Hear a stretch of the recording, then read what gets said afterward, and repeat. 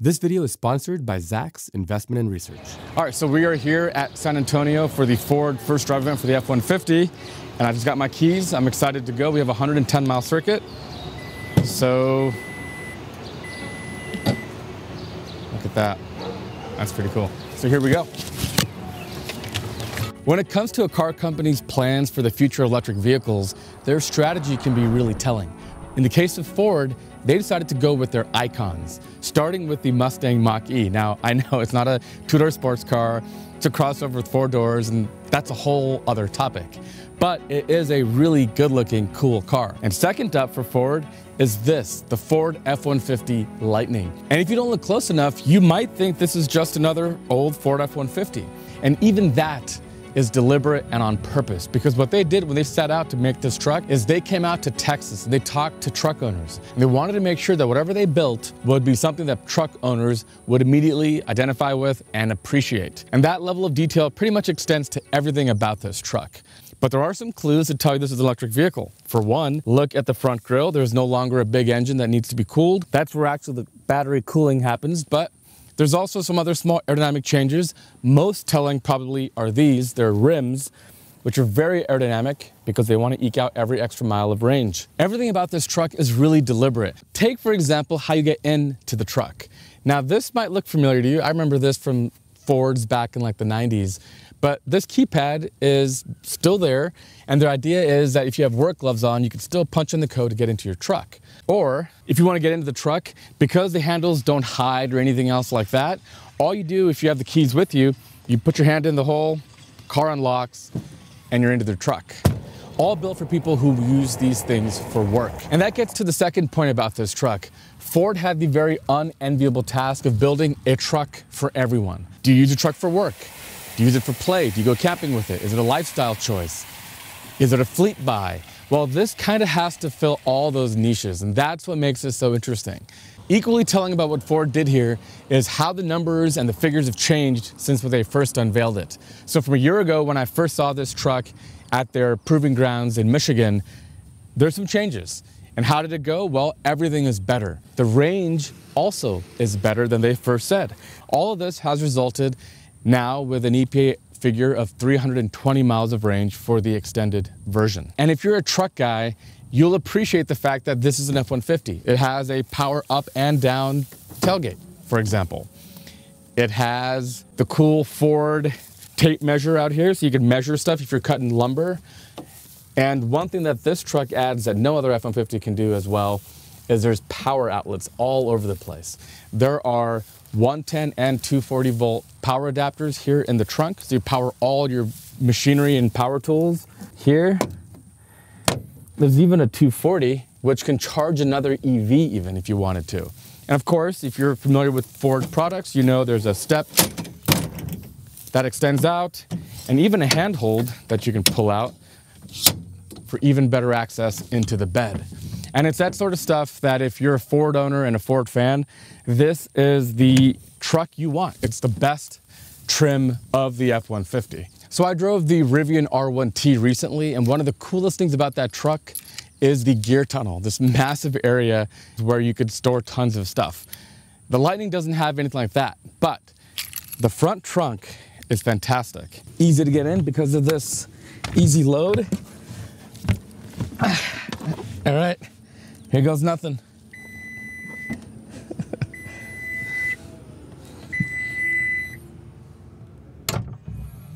Wow, there's actually a lot of room in here. It's not bad at all.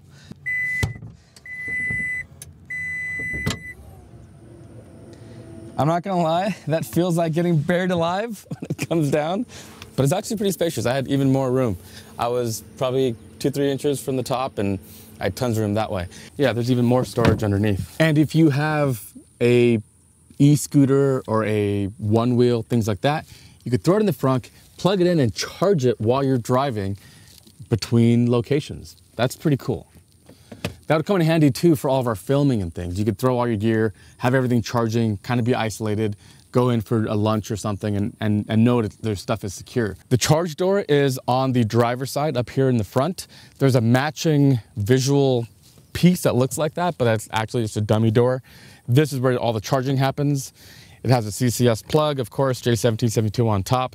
And what's interesting is if you get the home adapter to power your house, the smart adapter, what it does is it charges over AC on the top pins, and when you power your house back from the car, it uses the DC pins underneath. Pretty cool. So Ford's ADAS, Advanced Driver Assist System, is called Blue Cruise, and to enable it, there's two things. You have to first of all have lane keeping assist on, so now that is on, and then you got to have the cruise control on. Here you can adjust the following distance as you like, and once you have both those conditions met, you're in hands-free mode. So you, you see how it allowed me to take my hands off, now there's a camera here that's watching my eyeballs to make sure I'm paying attention. Now I will say, Blue Cruise is geofence. It doesn't just work anywhere like Tesla's does. So instead what they've done is they've gone through and routed about 130,000 miles of roads in North America, and that's growing all the time, where Blue Cruise is available. If you drive on a road that doesn't have that, you can't turn this on. If you're wondering just how important this truck is to Ford, here are some stats. They reached 200,000 reservations in just a few months. From their original plans, they have expanded the size of their new factory twice. They have updated their production volume to 150,000 trucks per year because of the demand. They're working with Redwood Materials, JB Straubel's recycling company, to recycle scrap batteries and also batteries that reach the end of life. Taking a page out of the Tesla playbook, Ford will be partnering with SK Innovations to build two battery factories they're calling Blue Oval SK in Kentucky. All the batteries made in these two plants will be for Ford's EVs. I can't stress enough how important this is. In fact, it's these sorts of investments that caused a rise in Ford's stock price over the past year. But the stock market is a mysterious thing, which is why I'm happy our sponsor this week is Zacks Investment and Research. Start with the Zacks Investment and Research free e letter, and it's like getting a Cliff Notes summary of the market in your email. Each issue gives you five newly added Zacks strong buy stocks and timely commentary, which I think we could all use right now. If you're like me, you love the idea of benefiting from dozens of people's hundreds of hours of research in just a few minutes. Zacks performance is also impressive. From 1988 through December 2021, they've more than doubled the S&P 500, the benchmark, with average gains of over 25% per year. They also offer a premium research plan if you really want to take your investing to the next level. So if you're interested in learning more about Zacks, check out the link in the description to get started for free today. Huge thanks to Zacks and you for supporting the companies that support this show. So the first part of our trip is around town until we reach our little mountain passing where that'll be more of a fun, dynamic driving test. But around town, what kind of stuff matters if you're new to EVs? To me, it's a couple of things. Auto hold. Second is one pedal driving. And in this truck, we'll get to the sound that it's making in a minute. But in this truck, so here we are, I'm accelerating. And if I come off the, the accelerator pedal, that is a healthy level of regen. And it is really one pedal because if I were to stop, it'll bring me down to zero, complete full stop and there's zero. And because of the auto hold, it'll just keep me here. As far as the acceleration around town, again, you're gonna be the fastest truck on the road. I've already passed a couple of people, but it looks just like a normal truck. That is until you blow past somebody and they realize, what the heck does he have going on? Because it made no noise and it just left me for dead. So I have gotten a little bit of attention that way. But it's a fun way to get around town. It's, it's quick. But in terms of noise, vibration, harshness, this is a really smooth truck. It's high off the ground. The suspension travel is massive. So for people who drive pickup trucks all day, you know how comfortable they are. And this is no exception. It's not especially dynamic. I'd say the levels of body roll are are a little bit high. It is better than any other Ford F-150 because of that heavy battery pack on the floor. The center of gravity is lower and it does handle better, but it still does have a fair bit of, of body sway. You can feel that as I'm, you know, feel like I'm captaining a ship. But if you drive a pickup truck, you'll appreciate how vastly improved it is. Maybe I'm comparing it to like an EV sedan or a Rivian at the lowest spring height setting.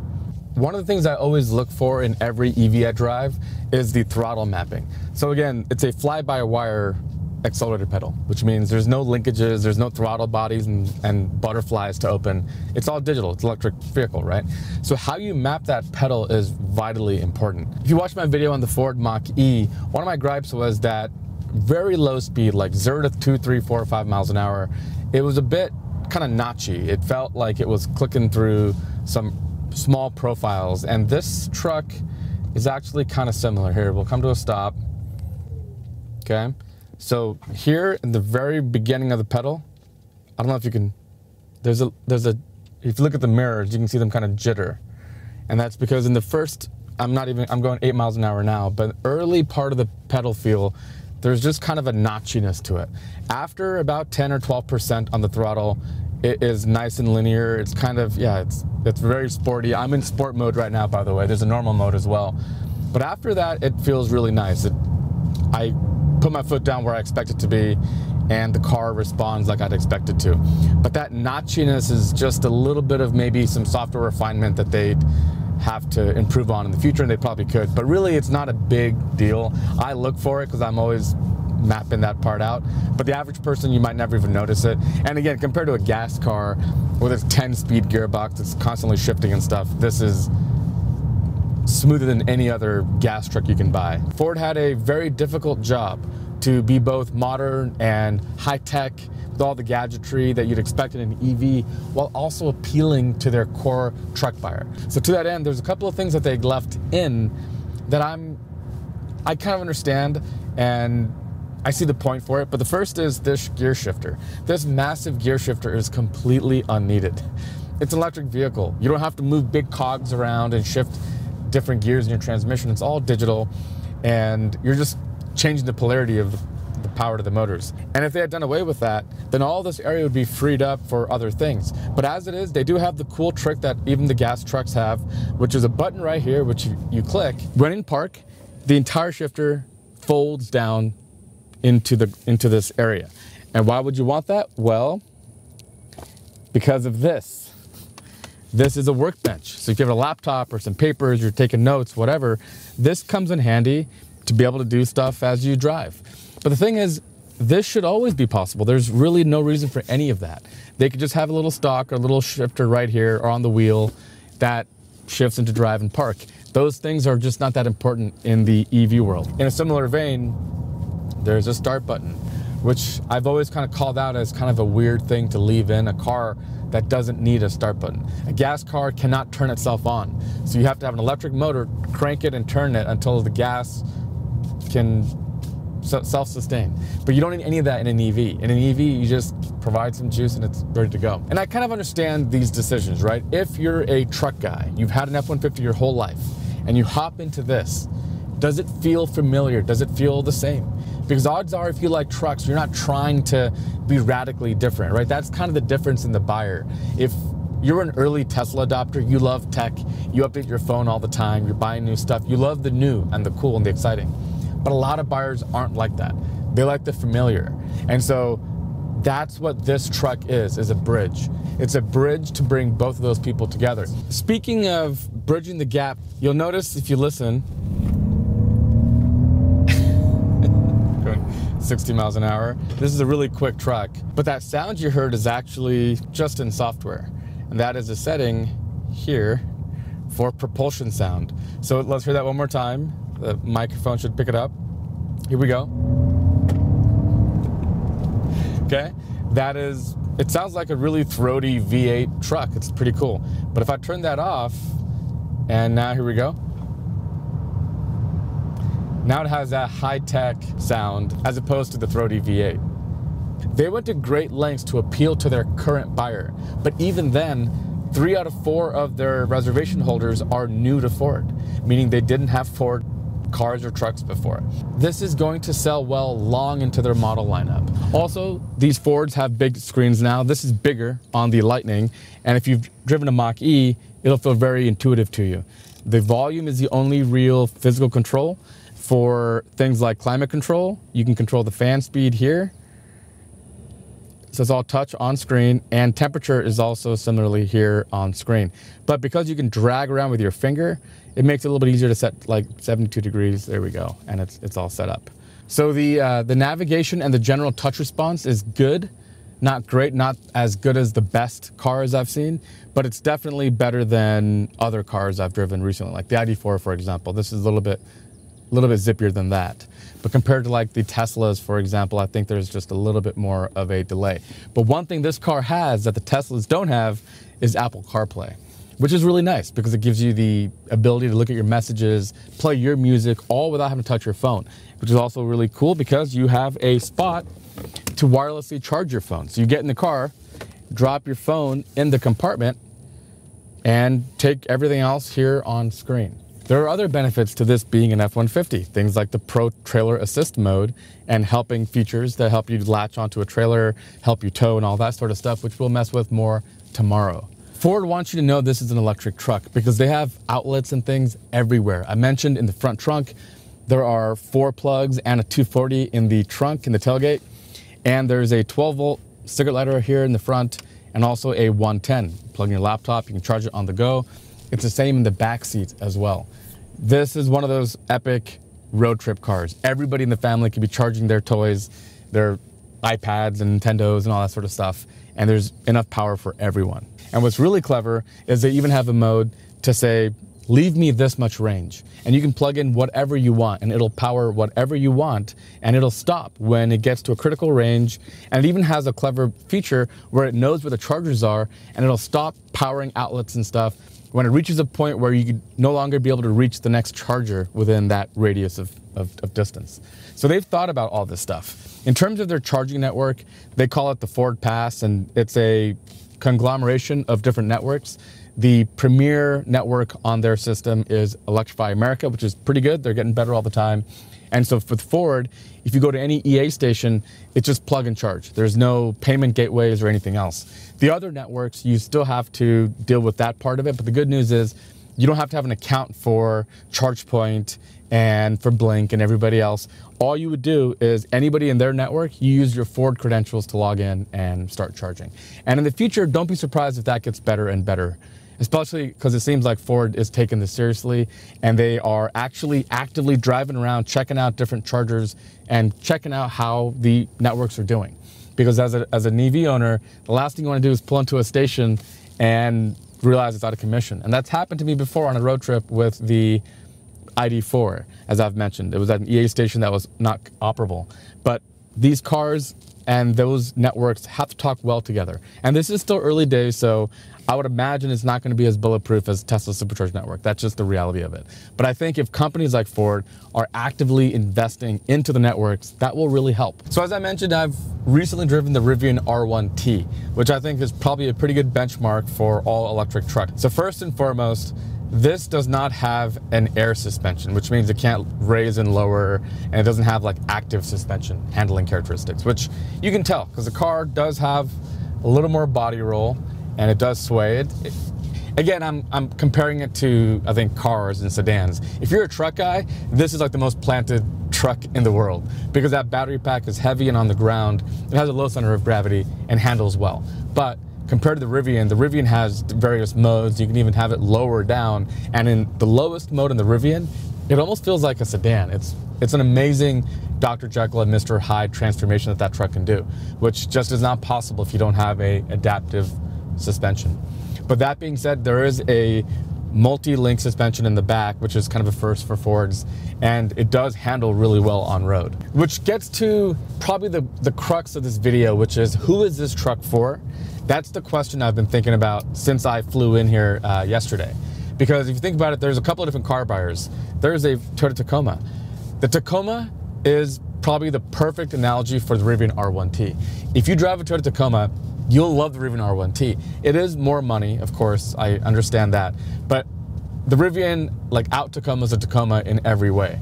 It is incredibly powerful, fast, and really capable. It has room and storage and all that sort of stuff. So compared to the Tacoma, I don't know if this would be a comparable because this is a big truck. And so for that reason, I'm not sure if this would be the exact truck for you if you're a Tacoma person. Then there's like the F-150 buyer, right? The full size, the mid-size truck buyer, which is the most popular category. And so if you're in that category, I think you should absolutely get this truck because there's a Mustang up there and he's not going to have a chance to keep up with me. he's making a lot of noise, but he's not going anywhere. That's a GT 5.0 Mustang. but he doesn't stand a chance. What I love about what Ford did is they upped the horsepower numbers, they upped the range numbers. They didn't like overpromise and underdeliver. They did the opposite. They made this truck the clear winner in that lineup. Even the Ford Raptor kind of pales in comparison to this truck. At freeway speed, I got it, I got it.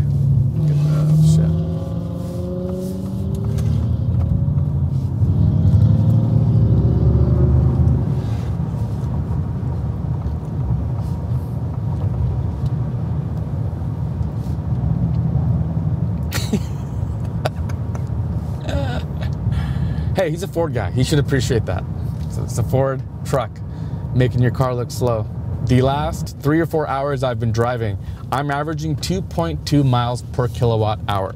So if you live in Texas, let's do some quick math. If you live in Texas, it would cost you about 50 bucks to fill up a natural gas F-150 to go about 300 miles, factoring about 18 miles a gallon, which according to fuel.com is the average for all the trucks last year for F-150s. 50 bucks. To go an equivalent range, 300 miles, in this electric Ford F-150 would cost $13. That's the savings. In California, it gets ludicrous, right? The gas truck would cost you $100 to go 300 miles, and the EV, if you charge at home, is around $13, and if you charge it out and about, maybe $35. But that savings is dramatic. Again, this is the best F-150 you can buy. You have a mobile generator. You can power 240 volt appliances like heavy duty table saws. You go air, pneumatic air compressors, everything you need at a job site. You don't have to run a generator or anything else. The truck is the generator. One of the things I love about what Ford has done that Tesla still does not do is the ability to run vehicle to load, which means you can plug in your car to your house and power your house if the power goes out. And what's really cool is Ford even allows you to power your house if there is power to save on your electric bills. You can have your car charge from midnight to 6 a.m. if you have cheaper prices around that time, and then you can run your house from 4 to 9 p.m. when prices are higher.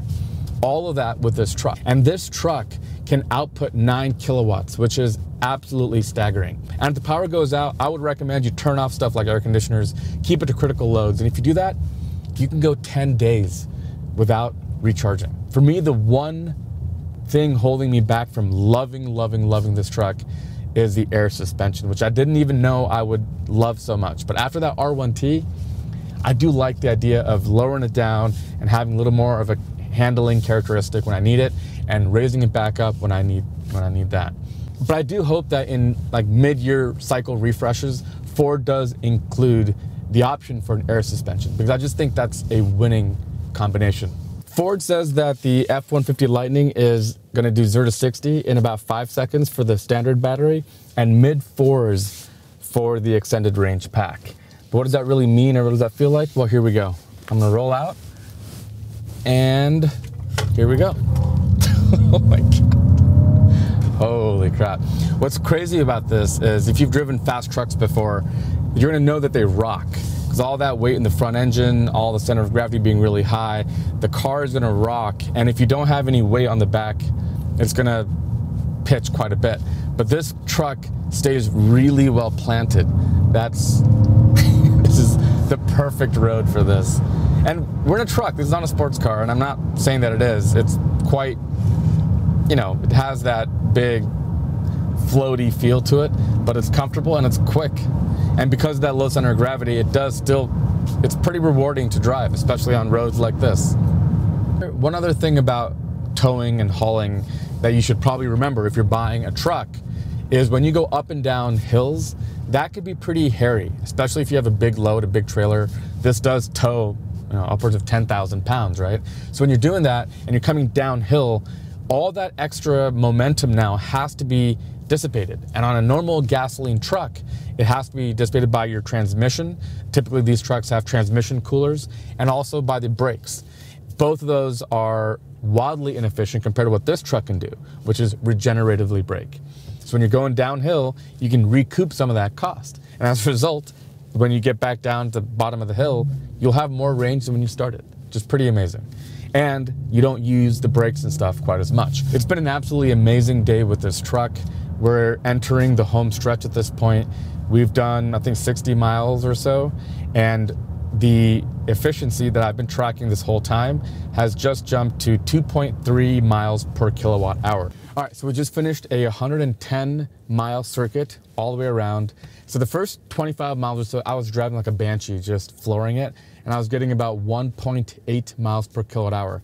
The final 71 miles, I drove like a normal person, and we averaged 2.3, which is a little less than the rated range number would have indicated. So we came back with 178 miles of range. That's almost identical to what you'd expect. Like I mentioned, 2.44 miles per kilowatt hour is the measuring stick. It means you're getting one to one. Anything less than that, and you're not going to get the full range that you think you will. But considering that we were having fun, first time driving, there's a lot of conditions and hills and everything else pretty impressive. All right, I did not think we would have this opportunity, at least on this trip, but we're about to do Ford's special off-roading course, and from what they tell us, it's pretty challenging. And I'm not, I'm not Mr. Off-Road by any means. Holy crap, look at that. We're going down that way. Yeah, this is gonna do, this is gonna do. So we're in off-road for the drive mode. Look at that. Yeah, you see a little kind of go back and forth. All right, that was like a breeze. It just looked hard, but it wasn't. You're gonna love electric trucks. They're absolutely remarkable when it comes. We're all shaking all over the place. They're absolutely remarkable when it comes to how much control you can get with all that power. So this power, this truck has 580 horsepower, but it's not just that. It's the fact that there's no transmissions, there's no turbos to spool up. You don't have to go into low gear and high gear. It's none of that. You just handle the foot, your accelerator pedal input, and everything else is kind of taken care of for you. All right, here we go on the hard route. One of the tricky bits when you're off-roading is when your two wheels go into divots and the center part where all your drive train bits are can contact, but this truck has a really hardcore skid plate.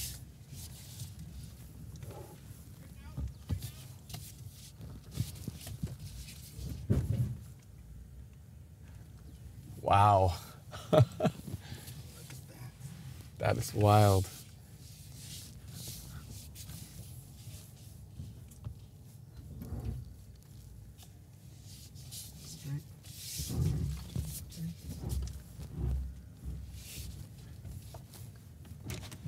Look at that view, dude.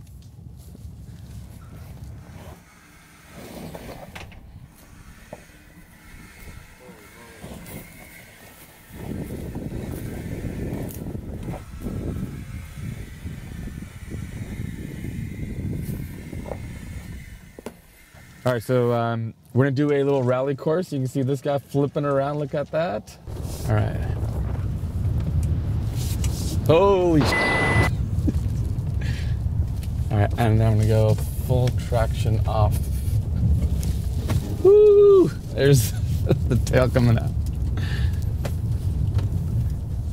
All right.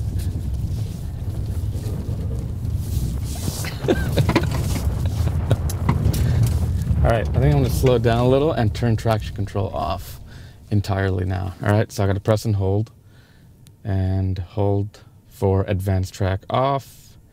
AdvanceTrac is off. So now it should just be whatever I do, it'll it'll take. Ooh. Oh. All right, let's try to keep it on on road here as much as we can.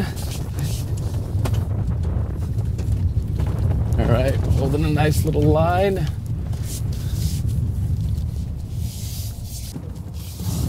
All right, here we go. I'll just come in nice.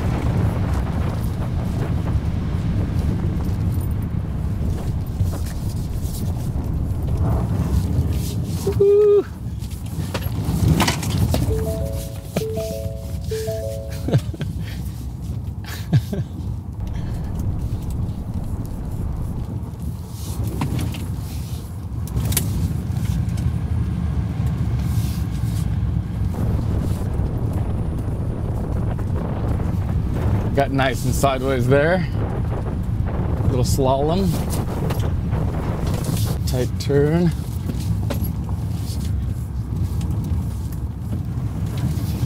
All right, so I just had the most fun I've ever had in a pickup truck for sure. The off-roading was awesome, but this is probably more my speed. Um, it doesn't feel like a 7,000 pound truck. And I got sideways quite a bit, had the traction control turned off and uh, did a little slalom on this rally course and that was, that was good fun. You're gonna love this truck. All right, let's go.